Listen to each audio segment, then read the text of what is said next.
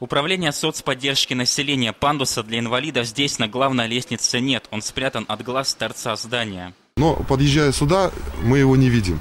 И знака, который бы указывал на то, что он существует, пандус, и где он есть, его как бы тоже нет. Ну, вот для такой организации немножко странновато. Помимо прочего, пандус завален снегом. Попасть внутрь невозможно даже здоровому человеку. Дверь закрыта на замок, но изнутри ее открыть тоже нельзя, мешает обледенелый снег. Иначе как издевательством над инвалидами это не назовешь. Помещение не наше, мы как бы арендуем эти помещения. И пандус строили тоже не мы. Так. То есть вы ни в чем не виноваты. А убирает кто пандус? Ваш дворник? У нас нет дворника. Детская библиотека. Прямо перед дверями водители устроили настоящую парковку, хотя понятно, что на месте, где ходят дети, ее не должно быть. Автоинспекторы, похоже, здесь тоже редкие гости.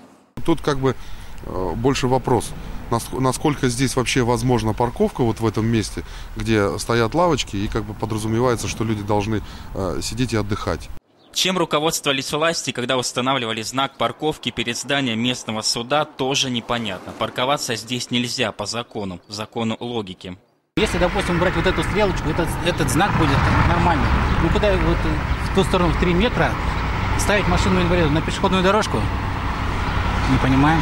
Сделать госучреждения доступными для инвалидов обязаны районные власти. Получить комментарии от чиновников не получилось. В здании администрации не оказалось ни единой души. Я не знаю, его нет на месте, на сотовый сейчас секретарь позвонит, может, Пожалуй, единственное здание, которое прошло проверку народных экспертов – пенсионный фонд. Парковка для инвалидов в нужном месте, пандусы тоже обустроены по правилам. Единственное, что портит картину – бесцеремонные водители, которые без всякого стеснения оставят машины на месте для инвалидов. Но тут Народный фронт бессилен. Отметим, помощники президента в Хакасии за месяц уже проверили госучреждения в Абакане, Бее, Баграде. Результаты все равно есть. Медленно, со скрипом, но двигается. Вот в Багратском э, районе, допустим, в той же больнице пандусы переделали после нашего прихода. Бороться за доступную среду для инвалидов активисты ОНФ продолжат и в новом году. Проверят все районы. Первый на очереди Черногорск. Отчет о проделанной работе направят президенту. Виктор Бура, Дмитрий Кузнецов, Вести Хакасия. Ну, пишу, что есть, что теперь. Что-то ж надо писать.